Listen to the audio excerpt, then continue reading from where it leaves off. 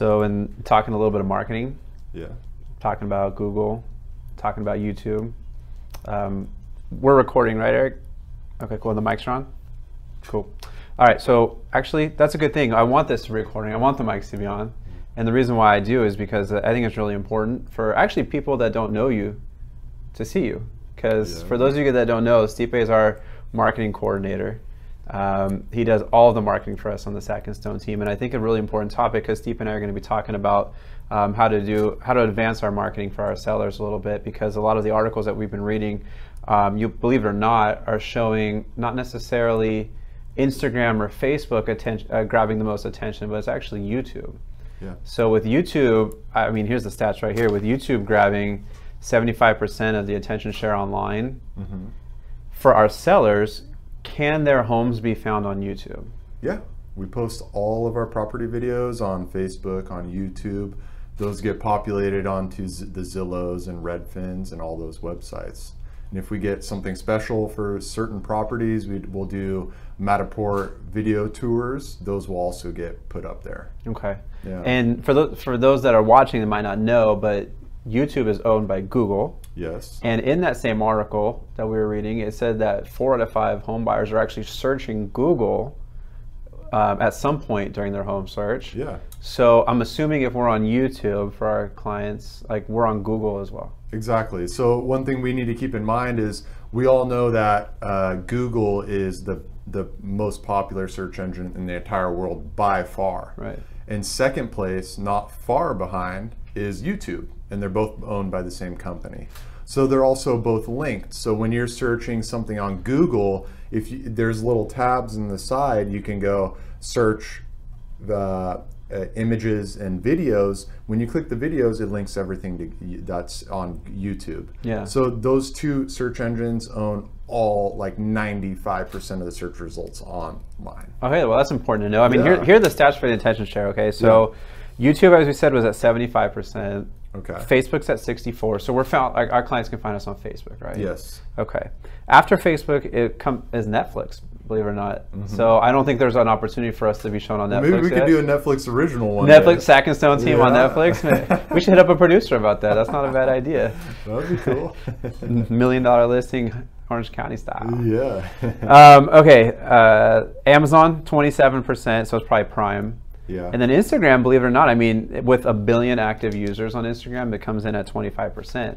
And actually, an interesting thing about Instagram, they've been really pushing Instagram TV a lot, and it's been kind of fluctuating in the social media space. You know, they're really pushing. Everyone's was saying, all the pros, experts out there were saying this is the best platform to use, and then all of a sudden it tails out, and and then it's now it's on back on the rise. They're back pushing it, and the couple of new th- changes they've made is they've brought landscape video in. So now, before you couldn't upload anything that was landscape. And those, if those of you that don't know, this video is being shot in landscape. It's Right. the wide widescreen, what you're looking at your TV.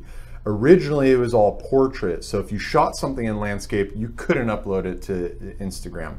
Now they've changed that, but they've also added a couple new developer changes that these developers have requested to make it a lot easier for people. They've like changed the maximum length. They've changed a couple of different things, and also how it's viewed because they want it to be for uh, the front, uh, front and center of their platform. Well, before when we would post a video on Instagram, if it was a minute or longer, or longer than a minute, I guess, Yeah. it wouldn't even post on our feed, Yeah. right? But now it, with IGTV, that changes. So Exactly. we can have a video that's what 15 minutes long or something. Uh, like it that, used or- to be 10, but they just changed it a few days ago to 15. Okay, so it's up to 15. Exactly. Okay. So yeah, so now it gives us a lot, a lot of flexibility to post a video like this on Instagram where, you know, we're shooting the, the opposite direction that you're normally allowed to. Yeah.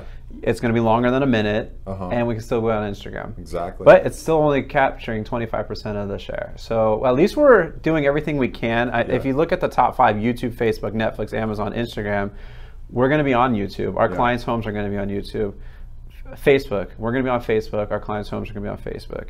Instagram, we're going to be on Instagram. We're, out, we're going to capture three out of the five, at least the ones that we can. Well, and, and what we're talking is only video. That's But only We're video. also doing photos, so we can we'll take our professionally done photos, our professionally staged homes, and everything, and we'll post those across all the channels. So not only the ones you mentioned, Facebook, Google, hmm. Instagram, but we'll also put that on Twitter. Now we're really st- starting to ramp up our Twitter.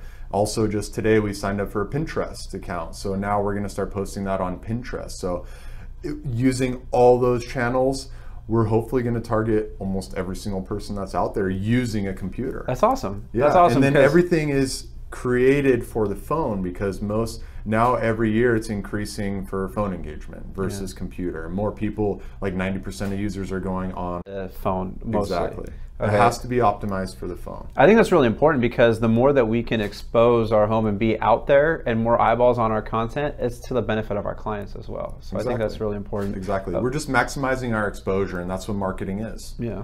And that's uh, what, what are the two keys for selling a home? What- well, why doesn't a home sell? Where are the two? Th- you, I remember you told me like the first day I started. Price and you guys. exposure. Price and exposure, and we're doing everything we can to maximize our exposure. That's right. That's right. Yeah. Good tip. Okay, well, sticking with the video theme, Yeah. um, the preferences when people watch video, Uh huh. it I don't know if you know these stats yet. It's kind of interesting. Uh, Seventy-five percent want funny. Yeah. They want the videos to be funny. Mhm. So this video, sorry, it's not funny. so we're not attracting that audience right now. Yes. Um, number two came in at entertaining. Mm-hmm. I hopefully we're being entertaining. I mean, it was still probably not the most entertaining video. I'm sorry, but if my mom's watching, she'll probably say, uh, like. Oh, we'll get a like from her for sure. Oh, oh, She's she's, our the number one first fan. first to like. Thanks, mom. Um, but 53 came in at informative, so I'm hoping at least right now we're being informative. yeah. Uh, so does that mean that we might need to restructure how we shoot our videos moving forward? Like, do we need to err more on the funny side? Do we need to try? Not that we're naturally funny, and we might have to work really hard at Yeah, it. Yeah. Um, but do we need to start putting out some funnier content? I think we should. I think we can. I mean, eh, we still have to be professional at the same time. Right. We can't be sloppy. You know, there's a fine line between funny and sloppy, but.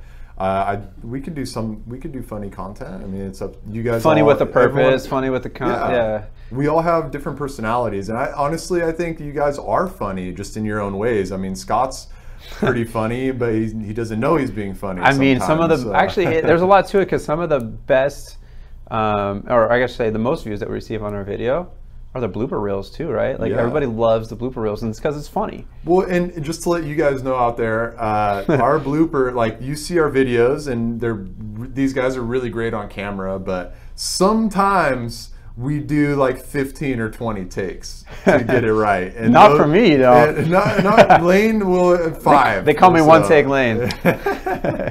Yeah, but uh, sometimes we get a ton of takes, and I and I if I'm going through all the videos, if I were to make a guess, I probably have 150 blooper reels waiting to be released. See, now that's funny, that's entertaining, and I think Yes. that's engaging. But here's the thing: like a lot of realtors, and we fall into this category too in a lot of ways, is when we post our property videos, it's basically just a tour of the home. Yeah. Right. So it's just, we're just there's some music, there's some words, and you're touring the home. Do we need to think about switching up that strategy a little bit?